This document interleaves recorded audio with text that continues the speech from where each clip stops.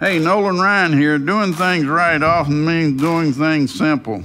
And nobody makes simple stand out better than Southside Market.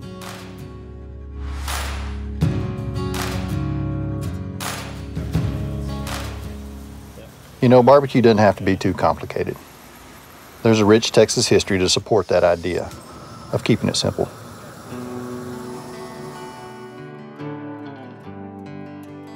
William J. Moon started back in 1882.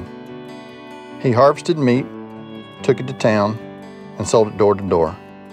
There was no refrigeration back then, so everything was done the hard way. A few years later, he opened up Southside Market, and from 1886 to 1992, it stood in the same spot in Elgin, Texas, before the new building was built. My grandpa bought Southside in 1968, and now, after my father, I'm the third generation within my family to own and operate it. But the way our family has always seen it, we're less of owners and more stewards of the brand and all that it means to Texas barbecue history and to the community. In all my time here at Southside, I've learned that there are four steps to good barbecue. Number one, everything begins with good beef. That's crucial. Number two, natural wood fire. And around these parts, that's post oak. Number three, simple dry rub. We use salt and pepper.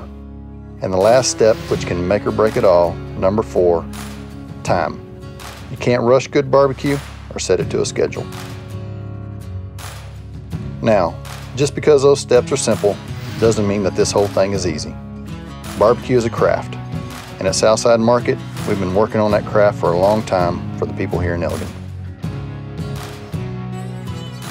At the end of the day, our community is what's most important. They aren't customers, they're our guests. And they see things the same way we do, keeping it all simple. We all make choices each day that affect how things turn out. That's in our lives, in our food we serve and eat, in the role in our communities, and all the folks we share this with. That's why my goal is always to find the right way and stick with it.